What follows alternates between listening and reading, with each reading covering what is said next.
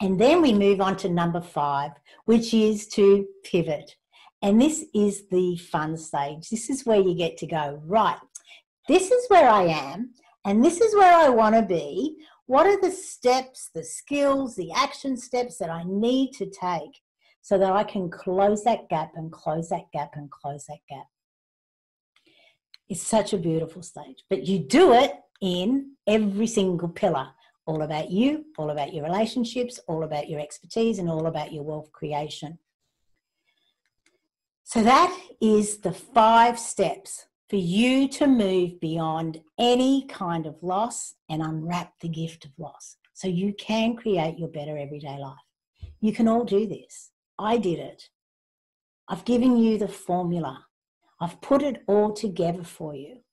All you've got to do is just put it all together, and then guess what? You have a blank canvas to create your new you. Sounds easy, doesn't it? Okay.